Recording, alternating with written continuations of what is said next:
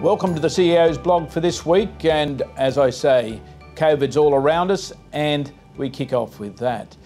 Uh, what we're looking at is the uh, removing the regional boundaries. Um, a lot of work's going into this. We're waiting for a little bit of information from New South Wales Health, but uh, it is our intention to move away from these boundaries, if possible, by the end of the month. So keep an eye out on that. Uh, and we're sorry we can't do it any earlier, but we're bound by certain restrictions. Um, in respect of the submission from the Canberra and Goulburn clubs to help trainers that train at those two facilities, it's proving to be a little bit problematical, but uh, we'll be asking the clubs for more information so we can move on with that matter. But as I say, wear your masks, social distancing is very important, hygiene is very important, and as we see, this, uh, this virus can end up anywhere, even this week in Parkes. It's landed there with no known source. Certainly, it's not within harness racing because of the protocols we have in place.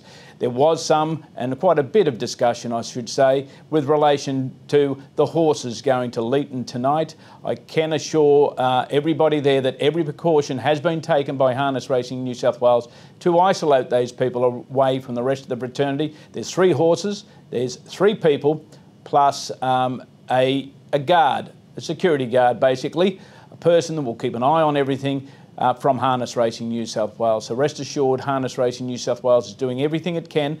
One, to remove those boundaries as soon as we can, and two, to protect the interests of the industry at large. The Breeders' Challenge is upon us, and hasn't it started off with a bang last night at Penrith? Of course, what we're doing with this Breeders' Challenge is something we've been forced into by the COVID 19 pandemic, and we're doing our very best. But what we're seeing is that uh, we're certainly getting fantastic races. Uh, we move forward into the second round of heats soon, but still, we've got to work with what we've got. Harness Racing New South Wales went out deliberately and asked for people to put in submissions. From those submissions, we have worked a, a program that we think will go forward very well into the future. Last night at Penrith, we saw Brad Hewitt's Armour Renegade very dominant in the fillies race, whilst Tasty Delight for Brian Portelli was absolutely sensational in the closest finishes. So uh, Ricky Alchin's horse there running second will be a, a force into this series as well back to the conditions, if there is still something that the uh, connections don't understand, contact Sean Snudden. He will be able to help you. There might be something there that you need to know that will really help you into this series, especially as we go into the second round. So I wish everyone the best of luck with uh, their horses in the series as two-year-olds and three-year-olds, and, and we'll have some fantastic finals at Menangle on the 24th of October. During the series, though, we are naming these races after local studs and in the standing in New South Wales this season. This is in recognition of the tremendous work that these people do for our industry, uh, for breeders, for owners, for the industry at large. A special shout out to Jackie and Mary and Jock at Success Stud. 53 years they've been in operation and they're celebrating it this week. They'll have some foals on the ground soon and so will the rest of the studs. So I hope the foaling season goes very well for you as well and you'll have nice, healthy foals. Colts and fillies, doesn't really matter. As you see with these Breeders' Challenge races, the money's there. There's different divisions for each. You just have to be lucky enough to get the best one. In recent times, we've seen Harness Racing Australia come out with some very important changes, uh, changes that are for the benefit of the industry. But one change that has been announced this week is the change of the racing season. It will go to a calendar year from January 1, 2021. What does that mean to racing in New South Wales? Basically, what it will deliver is, as we see the current Breeders' Challenge Series running through September, October, November, that will be the permanent place for the Breeders' Challenge going forward. In all likelihood, the finals will be run of the major series at the end of October each year.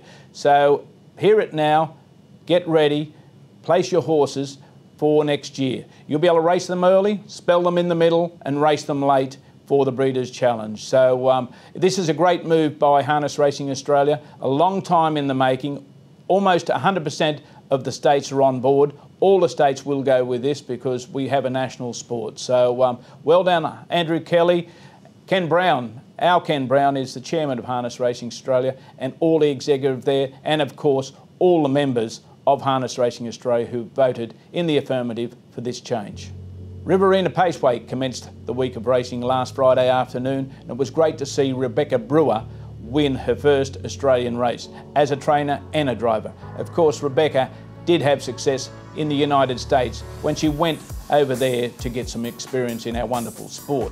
At Newcastle on Friday night, Jason Harmey was the trainer, driver, owner of three-year-old filly Harms Loana. Father and son combination, Chris and Andrew Burke, combined with two-year-old filly, Feral Frankie. Both of these fillies no doubt are Breeders' Challenge bound if they were sustained, whilst Clayton Harmey and Blake Hughes landed their regular double. At Tabcorp Park Menangle on Saturday night, Leonard Kane became a world record setter when he won with Zenart for Craig Cross in a mile rate of 151.4 over the 2300 metre journey.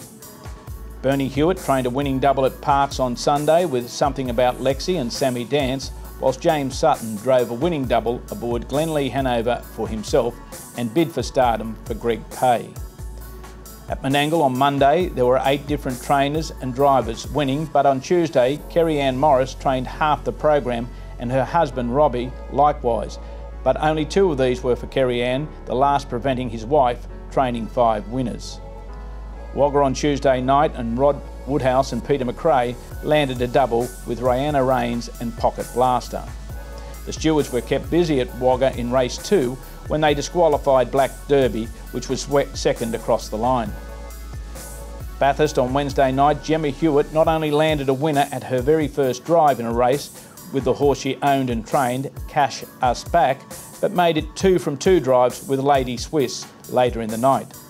Justin Reynolds also landed a double at Gold Crown Paceway. And around the week out, Penrith last night, the win of Spaghetti Legs, long odds, was certainly welcome to see. That was the highlights for the week.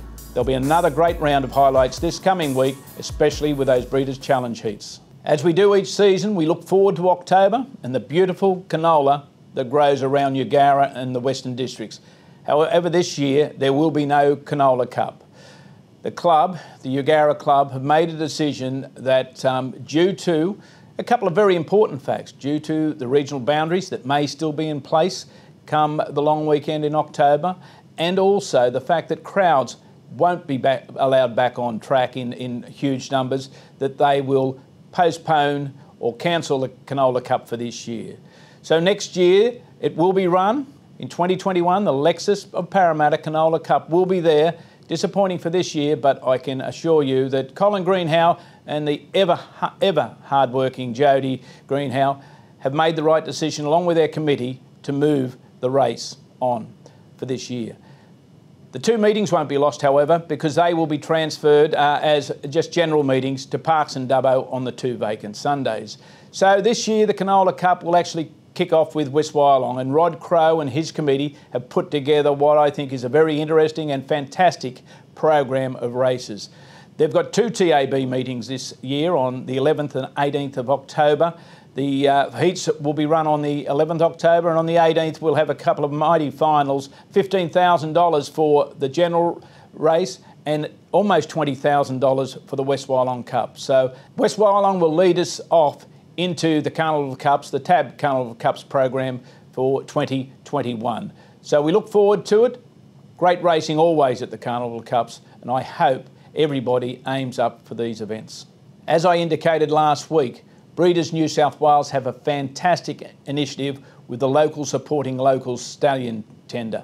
Don't miss this opportunity. Visit their website and see what a wonderful array of stallions they have on offer.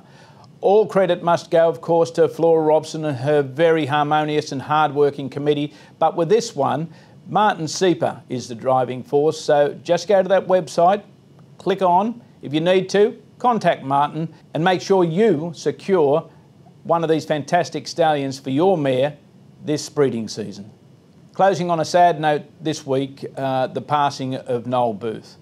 Many of you will remember Noel as the person who broke in and first trained the mighty Firstly, who went on to win the 1968 Inter Dominion for Kevin Robinson. It was Noel who recommended to the owners that Kevin Robinson was the man to take this horse to the great heights, it did. However, Noel was no slouch He was a, a fantastic driver and on one occasion drove the entire card at Redcliffe. The following week, only beaten a nose in the last race, he would have repeated what he'd done the previous week. Noel's last big winner at Harold Park was Kick the Tin, which won at very long odds, but he had declared it a special. Many years ago, Noel broke a horse in for me and my great mate Peter V'landys. It didn't go on to be uh, Firstly or Kick the Tin, but still we had great fun with Noel. To his sons Noel and John and all his friends, the condolences of the fraternity here in New South Wales and many other places where he raced. May he rest in peace. That's it for the blog this week. Great racing coming up. If you watched those races at Penrith last night, those two Breeders' Challenge heats, they were fantastic. They're on again tonight at Leeton. They'll be backing up again, not the same horses, but the races at Dubbo on, on Sunday. And of course, we finish up the first round of heats of the Breeders' Challenge two year olds at Tamworth next Thursday. All the best with your racing. Enjoy your harness racing. Whatever you do, social distance, wear your mask, and think of everyone else around you with this coronavirus that's still a pandemic that's affecting us all.